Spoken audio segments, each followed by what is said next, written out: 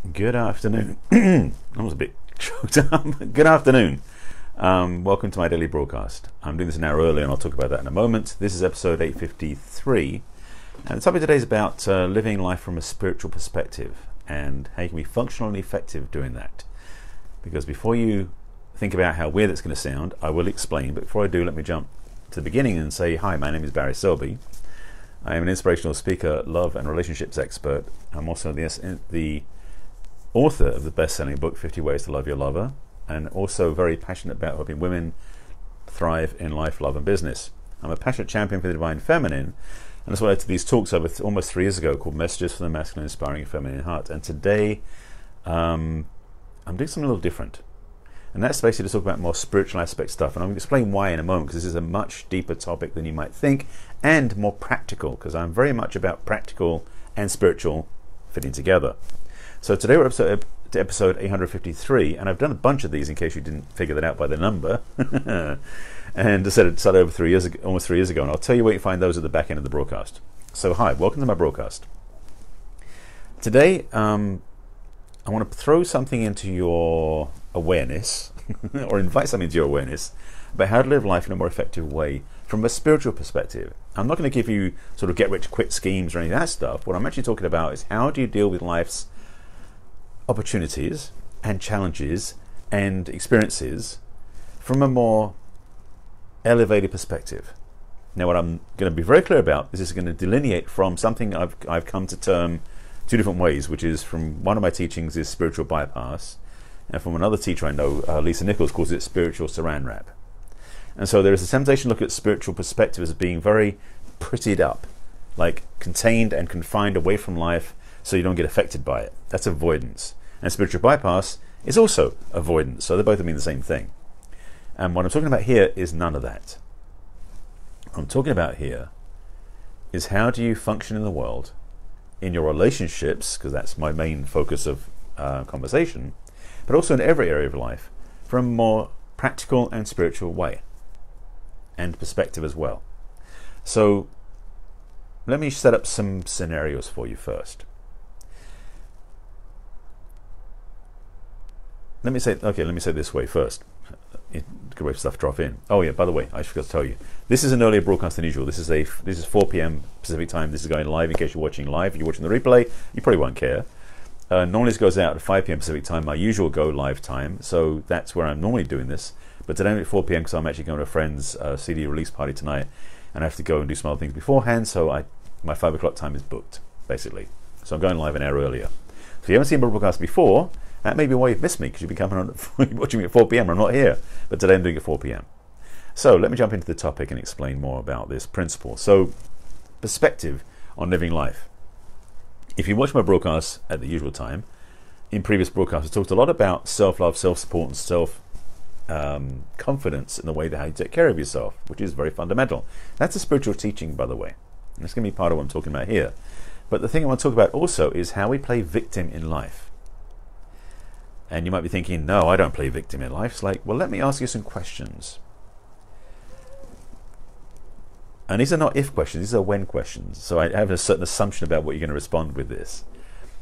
When you're driving on the freeway or in traffic and someone cuts you up, do you find yourself reacting to what happened? Do you start cursing them out, or yelling, or waving a fist, or giving them bird, or some, some other symbolic expression of upset with the other person?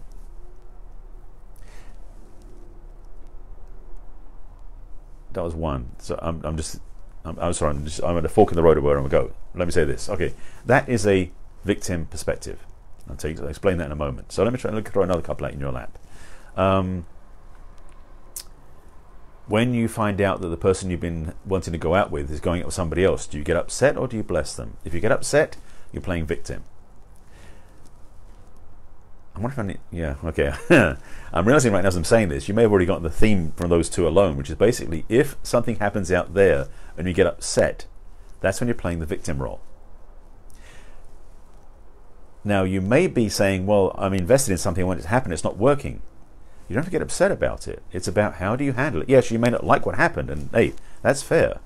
But how you respond versus how you react, there's a difference, by the way, is very potent.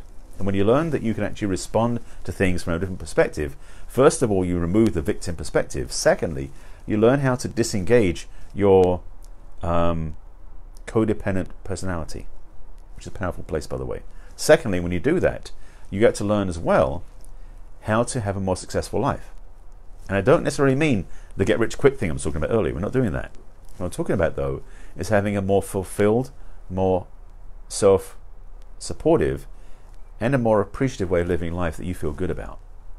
Because when it comes down to the end of it, when it comes down to the bottom line, at the end of life, as I saw a meme earlier today about this, it's not about the number of cars you have or the amount of money in the bank. It's how many lives you touched and how much joy you felt and how much love you have. And if that's what you're starting to realize more and more is the way you want to live your life, this will help you. So a couple of things I want to throw out there, or throw into your lap to consider, to, to, to have perspective on, is when you're in life, stuff does happen. All right, let me be blunt. When, when you're in life, shit does happen. I figured I was going to be polite. It's like, you know what, just talk about the way it is. But the recognition is, is that those things happen not necessarily for a reason, but they usually, are, they usually tend to happen because of where you are in your life. Now, this is a big piece of the puzzle, by the way. When you start recognizing that things that happen around you that are directly affecting you, you have some input and control over why they happened, and also how you can stop them happening again. Does, inter- does this, inter- does this in- let me try that when I get my teeth in straight. Does that interest you? Because if it does, I'll explain a bit more about it. I'm actually going to explain anyway, because I can't tell if you're if you're actually responding or not. But I want to make sure you get this this teaching point because th- th- this has been uh, an, an underlying message of most of my 800 plus broadcasts for the last three years is how we how we relate to life. Well, to quote my alma mater, how you relate to the issue is the issue. Basically, how you relate to life is really the telling of your life story.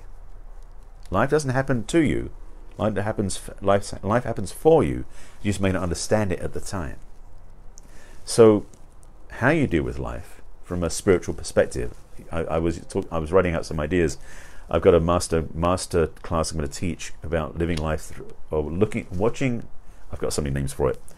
Looking at life through a spiritual lens was kind of one of the the, the starting points I'm playing with. So this is kind of uh, this is kind of a spontaneous exposition of what I'm thinking about, talking about, and teaching. There are so many tools we have in our tool bag, least I know I have from all the years I've been in studying, but how to deal with the upsets and challenges in life, and also how to deal with all the good stuff that happens in life too, because sometimes good things happen and that gets us more freaked out than bad stuff. Does that happen to you like that? I know sometimes when really good things have happened to me, I've almost felt like I don't deserve it. I've had to work through my own issues of deservedness and worthiness and other things that I'm still playing with. I'm not perfect on this, but I recognize more and more that the blessings that come in are reminders that good can happen. And when you really are tapped into your spiritual perspective, you see the good showing up more easily because it's almost like you're looking through the right lens. So, the, so it's almost like it's like having a polarized lens that turns. If you ever had if you had a polarized lens on a on a camera, camera lens, sorry, a polarized filter on a camera lens. Get the right language there. You may have noticed that when you do this, and I've had it because I, I, used to be a professional photographer, so I had lenses, lens, uh, filters like that. When you hold your camera up and you focus and you change the polarized le- filter, you rotate it. What happens is it changes the line of polarization. And so, for example, if you're taking a picture with a swimming pool in front of you, you may get the sun hitting the swimming pool and you're getting blinded, like um, light sh- shining up in the lens. But when you turn the, the polarized filter around, you actually turn it crosswise to the sun hitting that, then you can see straight through into the pool itself. This is the power of polarization. If you have polarized lenses on your on your uh, sunglasses, when you're driving the car, you'll see much more clearly and less reflection coming through the lens because of the polarization. It's also why when you turn your phone sideways with polarized glasses on, you get the lines would change brightness to darkness. If you haven't tried that, you'll see that because the screen on your phone is also polarized. What's that got to do with anything? I went down the path to say that really, when you start looking through a spiritual lens and seeing life a certain way, it's almost like you've turned the lens, the polarized filter around, so you can see more clearly, and you start to see from a much more inclusive perspective. One of the challenges we have in life is that we go through life and something happens to us. Somebody says something, does something, or doesn't do something, or hurts us, or we get wounded, or something. All sorts of things happen that upset us, and we tend to sort of cave dive into a place of limitation and we can't see much. It's almost like we have tunnel vision into upset. And that's no way to live life. I'm hey, Gina, you must be on a break, I'm guessing. Not my broadcast. I'm going earlier than usual, so maybe just coincidences, coincidences of time. So when you start to realize that you have a much bigger perspective, it's almost like you get to breathe in slowly and breathe in more fully, and you get to go deeper. Because the thing is, when we get upset with things, generally what happens is we shut down. We close up, we contract, we limit ourselves. So ability to respond gets extremely compressed. So you may be in a place where you find yourself being upset and you're going, well, I can't do anything. All I can do is react. It's like, yes, that's the way that life treats us. We don't learn how to go beyond that. So I realize I'm going to give you like 17,000 pieces in one piece. Let me say this as a, as a cliff note. This is a new theme I'm teaching more directly, more bluntly, because I've been talked about. I've been told by a couple of coaches to get off my butt and talk about this for months now. So finally, owning up to this. So I don't want to. I don't want to give you like a. a um, no, so that, that's not polite. I don't want to overwhelm you with stuff in one go. So I'm going to give you. This is going to hopefully give you some over. This is going to give an overview. That's better to say it that way. So I'm not going to go dive in too deep because it will take me four hours at least. Well, the masterclass I'm creating will have all of that in it. That's a that's a hint, by the way, for what's coming. So, say this again. Having the polarized lens approach, or excuse me, polarized filter approach, lets you see life more clearly. When you go through the upset, as I mentioned, you get contracted and, and, and confined, so you can't express fully. What's happening is you're not looking through the polarized filter. And what I mean by that is, if when you're in upset, hurt feelings, woundedness, distraction, collapse, the only thing that you can do to free yourself is to get out of the collapsed state. And the way you can do that is as simple, as simple as taking slow breaths. It sounds as crazy as it sounds. You know, this is about counting to 10. What happens though, if you do this the right way, which basically is you breathe, what, what you do, when you breathe in, but you breathe out more slowly, this is the key by the way. You breathe in faster, but you breathe out more slowly. It breaks the breath cycle, first of all, you're taking conscious breaths. Secondly, what's happening is it brings you present. Have you ever noticed that when you get upset with something or someone upsets you, hurts you, but you know, beats you up energetically, whatever it is, you tend to find yourself watching what's happening, but you're not present of what's going on. You don't have choice to, remo- to, to respond. You tend to be in reaction mode. This is one of the ways you get back to responsiveness, which is basically you take a breath and come back to presence. Hi, Amanda. Thank you for being here. Uh, and I love that uh, you find that a thousand percent true. That's awesome. Thank you. Um, when you breathe and you bring yourself present, then you can respond. It's almost like the idea about getting so caught out of breath you can't you can't think, you can't can't respond, you can't do anything. It's like when you stop and take that breath in and you breathe out more slowly than you breathe in. This is the key, by the way. When you breathe out more slowly than you breathe in, what it does, it resets your, cort- your, your frontal cortex. It brings you present and gives you the opportunity to respond to what's happening in a way that's different versus reaction, reaction, reaction, which is what we tend to do. So this piece I'm giving you now is this, this is the cornerstone of the work I'm starting to teach more and more now, which is to put you in a perspective where you can learn how to respond to life from a much more present and presence, two different words, place, meaning that you're actually able to be present to what's going on and then bring your presence forward so you can choose to respond how you want to. And that, my friends, is freedom. And freedom is one of the pieces that I love teaching because when you talk about having an understanding of spiritual, like looking through a spiritual lens, you see life as choice points. Because for most people, going through life, there's no choice. Like you got to go to work, you got to do this, you got to do that, and everything goes on. When you see through the lens of spiritual, sorry, when you look through the spiritual lens, I'm calling it for now. Again, living life through a spiritual lens. That was kind of my working title for this masterclass that I'm putting together now. So stay tuned for that when you start to see life from a spiritual perspective, again, polarized filter around so you can see more clearly, then you see more choice points, meaning that you start to see that life is much more in your favor than you may have first thought. There's a, a classic book by Viktor Frankl, who was in the, prison, the uh, concentration camps during the war, and he wrote a book called A Man's Search for Meaning. And I haven't read the book, but I know some quotes from it because some of my teachers kept emphatically teaching me this. is that one of the things that he talked about in the book, because being a, being a concentration camp, you think there's not many choices you can make. But he said the one thing we always have a choice about is our attitude, meaning we can choose how we want to respond to things. And again, as I said about the breathing and becoming present and seeing through that lens and polarized filters, all this stuff is to say that when you come to the place of choice, we come close, that you can choose differently, then you have freedom to choose a different response. And that is the freedom of spiritual awareness. That's the freedom of a spiritual lens that I'm talking about here. And yes, well, Amanda, I didn't read the book, so you were ahead of me because you read the whole book, so I'm glad you did. um, so this is something I'm putting into my practice more and more in my coaching and my teaching. I've just so just so you can be I can be transparent and talk about my background.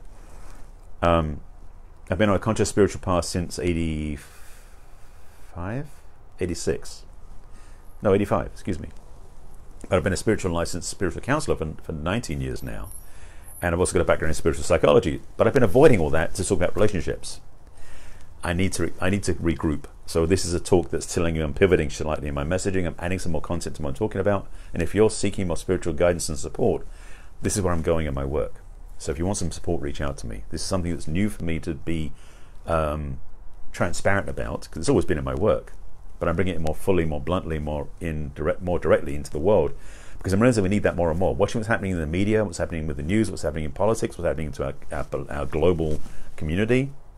The more we can see through a spiritual lens and respond to life with authenticity, with authority, and with truth, the more we can change our relationships with everybody else. So it does apply to your love relationships too. This always comes back to that as well. But if you find yourself stuck with it, let's have a conversation. Um, I don't I don't have anything set up for this in terms of like what you can do to get help, but I will offer a few things in the, in the comments as links because I know this will always help. One of which is, um, well, basically you can definitely reach out to me over social media if you want to discuss this more, get more help.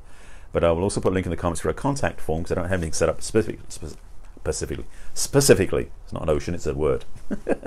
where you can reach out to me with a contact form. Just simply say that you watch my talk, you want to get some more help, and you want to find out how to talk about this. That'll send me that'll send me your phone number and your email address. I'll email you back, and we can set up a time to talk. So that'll be in the comments. Secondly, I'll put in the comments my self-love practice because part of this work, I've been adamant about this for over a year and a half now, more than that, over two years, because I just saw another broadcast from a while ago talk about this. Is that when you love yourself first, when you truly do remember to love yourself, that shifts everything too because when you start loving yourself, it's like taking that deep breath in and even slower deep breath out. Is that you bring yourself present to who you are. And you stop living externally, you start living internally. And that's one of the journeys in that spiritual lens I was talking about. So those two would be in the comments. Um, I didn't mention my books. I'm not going to put it in the comments. you just you just grab the book off the shelf I was saying, Amanda, you, let me see it says Seymour. You just grab the book off the shelf, open to page 66, and it says, And there are always choices to make every day, every hour. Offer the opportunity to make a decision, a decision which determine whether you would, would or would not submit to those powers which threaten to rob you of your very self, your inner freedom. Wow. That, that's it. See, that's the thing. When you start to learn you have a choice in every moment about how you respond to the world, you get your freedom back. But as I said at the beginning of the broadcast, for many people, we're caught up in upset reactivities, what's happening in the world. We forget we even have a choice. And that's the epitome in relationship of codependency. So I said, you can be a victim, be codependent, or you can be free to make your own choices. Yes, I thank you, Amanda. I appreciate that. So with that having been, that being said, um, I'm going to sign off because I need to go and do some writing from what I've been thinking about since I said this. Add to my content for my masterclass. Reach out if you want some help. If you want to be part of that masterclass, message me as well. Again, links in the comments being my self-love practice I mentioned. Also, a contact form so you reach out for support. And if you want to share this out with your friends, and I thank you, Amanda, for mentioning these other people, please share it with them as well. This is a pivot point for me in my work, even though it's number 853 in my list of broadcasts. but it's getting more blatant to talk about spiritual principles, the way to live life more fully, which then changes every relationship you have, including love relationships, and the way you work, and your own health, support, and life. This is going to move me forward in a new direction, and I hope you'll come with me. With that, I thank you for watching. Oh, replays. This is my Facebook Live I do every day, usually at 5 p.m. Pacific time, but today it's 4 p.m. because I have to go somewhere instead and not going to be available at 5 p.m. Um, this is always done on my Facebook on my personal Facebook page, which is Barry Selby. You can find me live at 5 p.m. usually Pacific 5 p.m. Pacific time right here. The replay's go to my business page on Facebook, which is Barry Selby, the author. You can find most of them there, but not all of them for some reason. So Barry Selby, the author, is my business page. Please like my page. And you can go to also find me on YouTube under Barry Selby. All my social media is my name, except I just finally created a new Instagram account, which is the real Barry Selby because my other account got hacked. So, um, but anyway, so YouTube, you can subscribe to my channel, which is Barry Selby. There's a playlist on there called uh, Messages for the Masculine. You can watch and watch those and see about these talks. This may become a new name down the road and may start retitling. We'll see. But um, you had the chills that happened to open that page. Yeah, I, thank you, thank you. I appreciate that. Um, and yeah, if you want some help, reach out to me. So thanks for watching. Um, hi, Steve. You have to watch from the beginning. I'm just signing off now. So I appreciate you being here for a moment. Um, so replays, links, content. You got your, you got all your stuff. Watch from the beginning if you're catching the replay. I thank you for being with me as always. If you have questions, thoughts about this, please put them below. I'll respond after I sign off. Again, reach out if you want some support. This is big stuff I'm talking about, and it's just getting started. So thank you for watching. I'll see you again tomorrow at 5 p.m. And uh, take care of yourself. I'll see you again soon. Bye.